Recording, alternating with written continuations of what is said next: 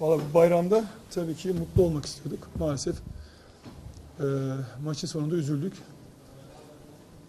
İlk yarı değerlendirmesi olarak e, zaman zaman oyun üstünlüğü bizdeydi, zaman zaman Galatasaray'daydı. Gol pozisyonlara da girdik ama değerlendiremedik ki istediğim oyun olmadı. Düşündüğüm oyunu oynayamadık. E, maalesef gene duran toptan ikinci yarı golü yedik. Çok çalışıyoruz bununla ilgili ama ma- olmuyor maalesef. Bazı şeyler sizin dışınızda gelişiyor. Golleri yedikten sonra e, oyundan koptuk. Golü bulduktan sonra oyuna tekrar ortak olmaya çalıştık. Ama zaman yetmedi. Üzgünüz. Galatasaray'ı tebrik ediyoruz.